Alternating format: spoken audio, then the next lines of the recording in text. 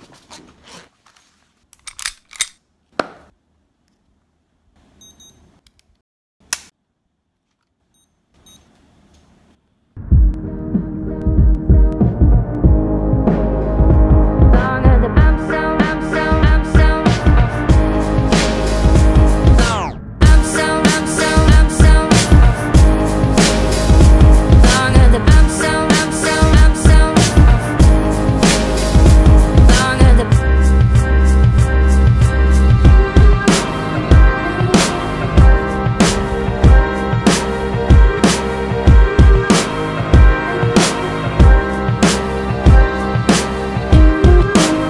back at the University Hospital.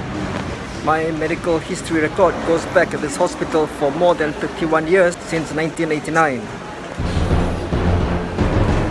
This hospital is almost like a second home to me. When I was a teenager, way back in 1989, uh, I practically lived here when I had the leukemia.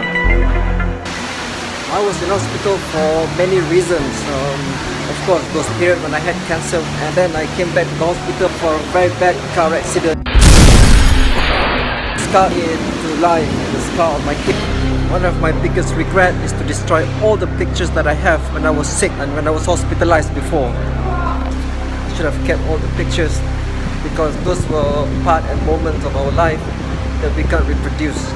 Now I'm here for a regular checkup and uh, that checkup is more for maintenance.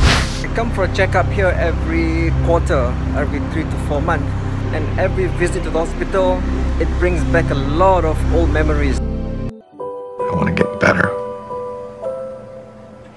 You think I can fix myself?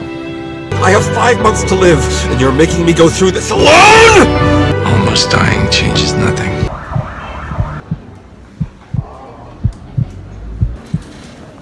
I'm supposed to be here a few days ago to take my blood for the blood test, but I actually forgotten.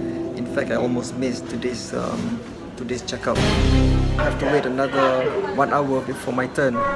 What I really need now is a nice hot cup of coffee, which uh, I don't know where to go. I chat with a few doctors who wants to remain anonymous. They say that the most senior specialist or doctor have to attend to a clinical Dr. House, the clinic is part of your job.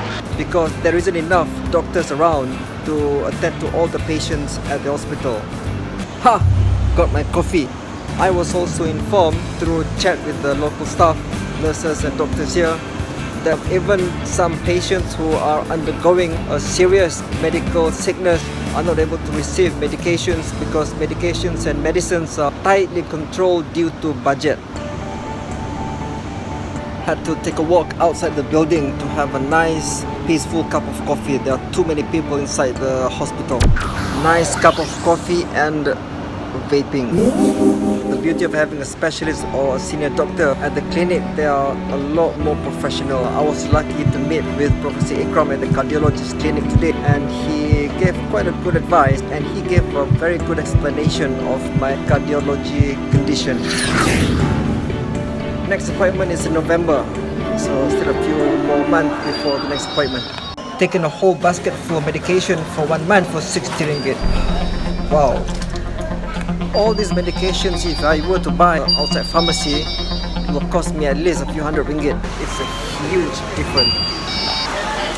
The most amazing part about the university hospital, there's no more written prescriptions. Everything's electronic. Everything is all online and centralized just completed all the medical checkup and making future appointment.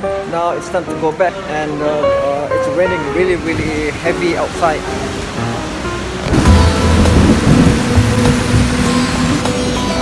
Grandma.